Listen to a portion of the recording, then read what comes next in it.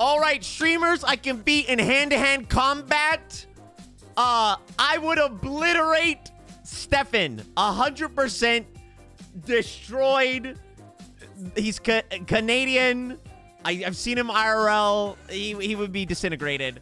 All right, number